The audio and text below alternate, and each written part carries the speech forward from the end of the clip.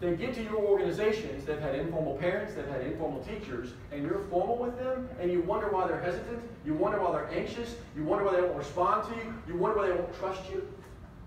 Because you approach them formally instead of informally. And this is one of my, listen, we, we, we give this generation a hard time sometimes. This is my favorite part of being a millennial. This is, this is your, millennials in the room, this is your greatest attribute. You do not respond to position.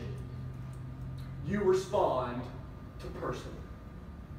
I don't care what your title is. I don't care how old you are.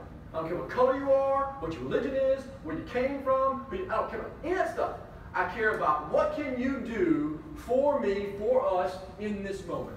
What are your qualifications? They do not care about experience. That makes old folks mad. They do not care about experience. They care about expertise. You could be three, and if you know more than somebody that is 30, they're going to respect three-year-old, and the 30-year-old can go jump in the lake.